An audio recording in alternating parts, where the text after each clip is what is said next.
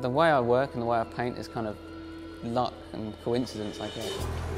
I paint till quite late at night, fall asleep, the paint's dried when I wake up in the morning, and on the way to work I just leave it in the streets again. So it's a kind of a continuous cycle.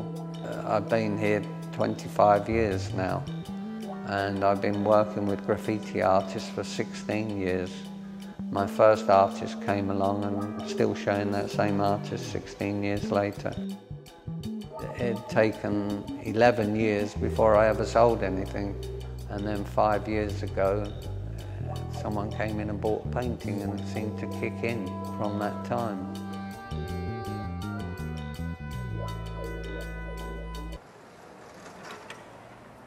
The moment of creating it is the most important part of painting for me. That, that nanosecond where the brain tells my hand to make that movement or sometimes I'll be painting something and something inside naturally tells me, oh, you should do that horizon there or that tree there. I'll decide, no, I won't listen to my instinct and do something completely different and try and surprise myself sometimes.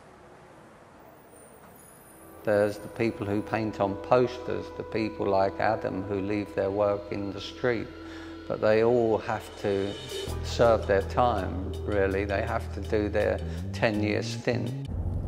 You know, if I, if I painted a red painting, I'd think about to leave it somewhere where it complemented its surroundings, you know. As, as my paintings in the street go, the painting isn't finished until it's been left in the streets okay. and, I've, and it's an environment, I've taken a photo of it. Then it's a finished image.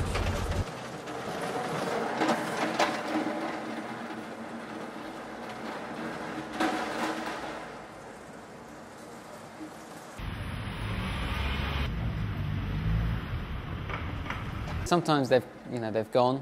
Either the, the rubbish collectors have taken them or the wind's blown them over or maybe somebody has taken them.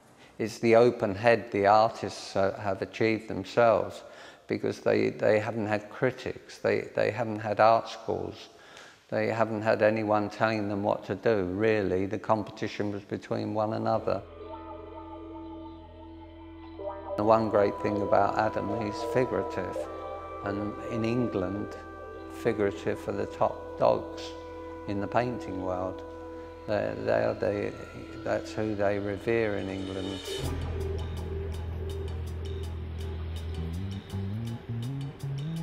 Well, it's a movement that's gone on over several decades, really, but it's finally come to the gallery area.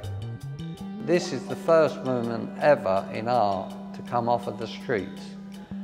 It doesn't have a name, I leave it to the critics to give it a name.